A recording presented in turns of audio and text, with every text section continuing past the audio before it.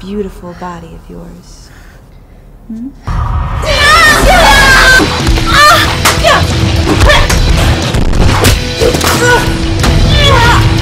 How does that feel?